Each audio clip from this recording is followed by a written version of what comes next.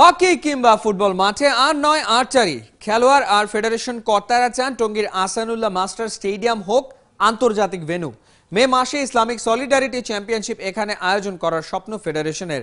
জাতীয় চ্যাম্পিয়নশিপের প্রথম দিনে স্থানীয় সাংসদের কাছে তাদের আবদার স্টেডিয়ামের বাইরের পরিবেশ পাল্টে দেবার।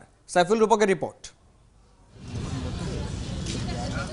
বাংলার আর্চারদের হাতে তালুর মতো চেনা টঙ্গীর এই ট্রেনিং সেন্টার এখনও মেলেনি আন্তর্জাতিক ভেনু স্বীকৃতি। তাই তো গেল বছর জোড়া টুর্নামেন্ট গড়িয়েছে হকি আর বঙ্গবন্ধু স্টেডিয়ামে। মে মাসে আবারও ইসলামিক সলিডারিটি চ্যাম্পিয়নশিপ বসবে ঢাকায়। খেলোয়াড়রা চান চেনা মাঠে আন্তর্জাতিক প্রতিযোগিতা। কিছুদিন আগে যে এশিয়ান চ্যাম্পিয়নশিপ হলো ওইখানে কিন্তু আমরা প্র্যাকটিস করার কোনো সুযোগ পাইনি। আমরা যদি এইখানে গেম খেলতাম তাহলে হয়তো বা আমাদের স্কোরটা আরও ডেভেলপ হতো এটা আমাদের জন্য দেশের জন্য আরও ভালো হতো। মাঠের ভেতরের অবকাঠামো বেশ তবে আন্তর্জাতিক ভেন্যু তকমা পেতে নাকি বাইরের পরিবেশের উন্নতি দরকার।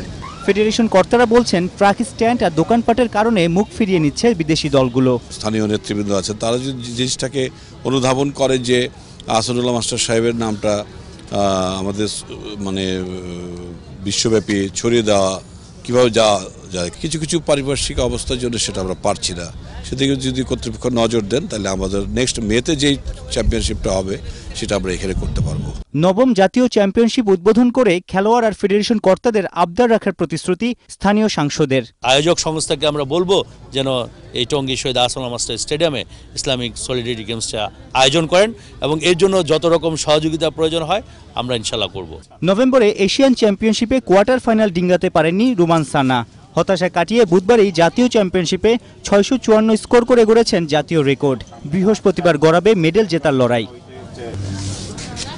সাইফুল রূপক, একাত্তর, ঢাকা।